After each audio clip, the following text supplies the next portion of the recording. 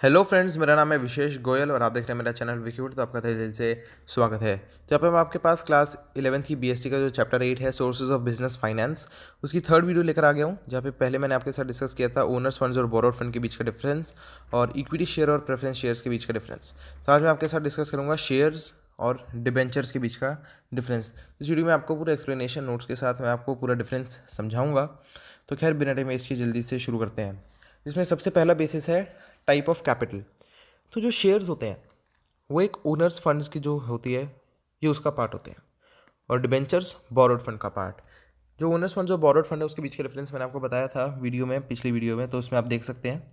ठीक है तो शेयर्स ओनर्स फंड का पार्ट है और डिबेंचर्स बोरोड फंड का। सेकेंड यहाँ पे पॉइंट है रिटर्न्स तो शेयर होल्डर्स को जो उनके पास शेयर्स होते हैं, उन शेयर्स पे, इन शेयर होल्डर्स को डिविडेंड दिया जाता है और डिबेंचर होल्डर्स को उन इंटरेस्ट दिया जाता है. थर्ड यहाँ पे बेसिस है वोटिंग राइट्स तो शेयर होल्डर के पास वोटिंग राइट्स होते हैं, लेकिन डिबेंचर होल्डर के पास वोटिंग राइट्स नहीं होते. वोटिंग राइट्स मतलब कंपनी में वोट करने के. अगला यहाँ पे सिक्योरिटी तो शेयर्स के लिए कंपनी अपनी कोई भी एसेट्स को एज सिक्योरिटी नहीं रखती है शेयर्स इशू करने के लिए, ठीक है? और अगर आप डिबेंचर्स की बात करें तो कंपनी को अपने कुछ एसेट्स सिक्योरिटी के रूप में रखने पड़ते हैं।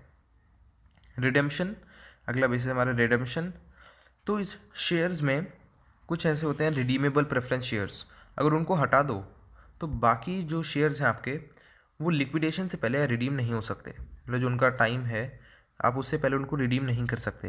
बस इसमें रिडीमेबल प्रेफरेंस शेयर्स होते हैं, जिसके एक्सेप्शन रहते हैं। डिबेंचर्स में अगर बात करें तो कंपनी कोई भी कंपनी उसके लिक्विडेशन से पहले अपने डिबेंचर्स रिडीम कर सकती है। ठीक है?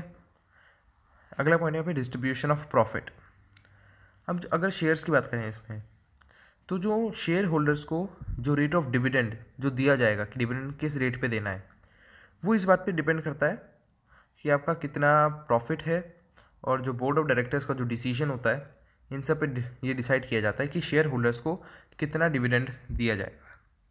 डिबेंचर्स की बात करें तो कंपनी का वो फिक्स होता है, रेट ऑफ़ इंटरेस्ट जो उनको डिबेंचर होल्डर्स को देना होता है, चाहे कंपनी का कितना भी प्रॉफिट हो, कितना भी लॉस हो। लास्ट यहाँ पे जो पॉइंट है, डिफरेंस का वो है चार्ज। तो dividend on shares is an appropriation on profit.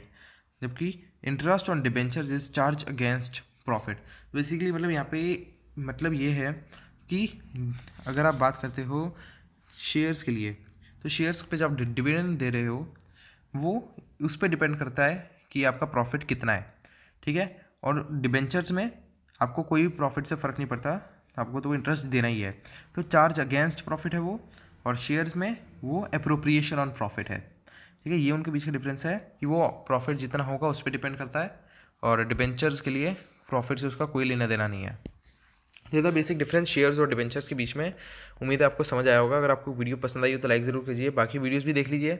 Channel को सब्सक्राइब कीजिए बेल आइकन को दबाइए। नीचे कमेंट कर दीजिए। मैं मिलता हूँ आपसे अपनी अगली वीडियो में। तब तक के लिए टाटा बाय बैंड थैंक यू